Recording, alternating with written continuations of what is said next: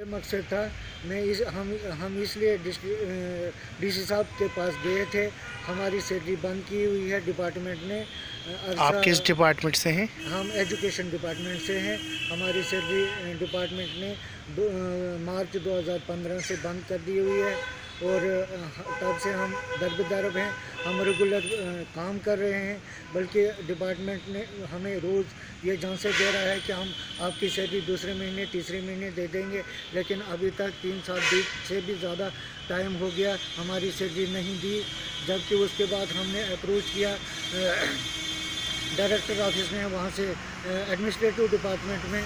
वहाँ हमारी एक कमेटी बनाई, कमिश्नर साहब ने, वहाँ कमेटी में फैसला हुआ कि आपको अनएडवर्टाइज पोस्टों पे एडजस्ट करेंगे और आपकी सैलरी देंगे। लेकिन छः महीने बीत गए हमारी रिपोर्ट नहीं आई। हम बार बार सी ऑफ़िस में जेड ऑफ़िस में जाते हैं, बल्कि वो हमें बोलते हैं कि आपकी रिपोर्ट हमें, हमने भेज दी, लेकिन डायरेक्टर ऑफ़िस से हमारी रिपोर्ट ऊपर नहीं गई। हम बहुत दर्द हैं, हम परेशान हैं और हमारे बच्चे भूखे प्यासे मर रहे हैं लेकिन हमारी सैलरी नहीं मिल रही है जिससे कि हमारी ज़िंदगी अब ख़त्म है। हम अपने माँ बाप की कोई सेवा नहीं कर पा रहे हैं।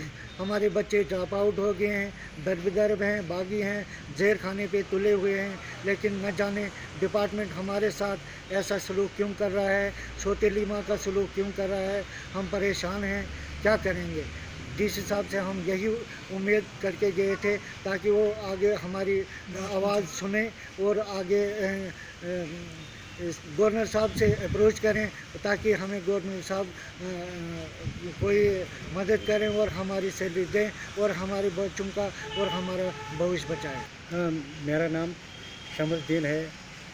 मैं एजुकेशन में काम करता हूँ as A R T teacher. Sir, हम अरसा तीन साल से बगैर पे के सफ़र कर रहे हैं। जब भी हम अपने किसी ऑफिसर के पास जाते हैं तो हमें बार बार कहा जाता है कि आपके फंड नहीं है। सर, काम तो हमें लिया जाता है मतलब अच्छे तरीके से काम लिया जाता है, और उसके साथ हमें मिड डे मील का काम भी करना पड़ता है, और बाकी जो स्कूल का काम हर तरह से हमें करना पड़ता है। मगर जब पे की बारी आती है तो उस वक्त कहते हैं कि आपकी फंड्स नहीं है। जिसकी वजह से हमारे बच्चे सफ़र कर रहे हैं, हमारे बच्चे ड्रॉप आउट हो चुके हैं, उनका तमाम पढ़ाई का सिलसिला जो है वो ख़त्म हो चुका है। तो हम आज डीसी साहब के पास भी ले गए थे तो डीसी साहब ने बोला कि हम इसका मतलब इस बात का कुछ मतलब इसमें कुछ सदभाव करेंगे। मगर जिससे पहले भी हम बहुत से बार, बहुत सी बार पहले डीसी साहब के पास भी गए थे और फैक्ट्री के पास भी गए और जब दौर हुकूमत जो थी पहले पीडीपी सरकार, मखलूक सरकार जो थी, उनके पास भी हमने ये बात पहुंचाई। उन्होंने भी कहा जो कि नीम साहब थे, नीम साहब के पास भी हम गए।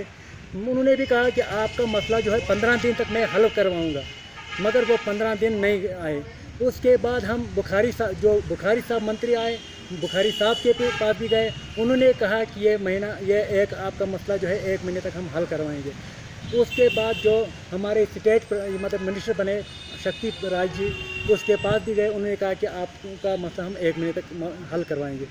मगर यह किसी से हल नहीं हुआ।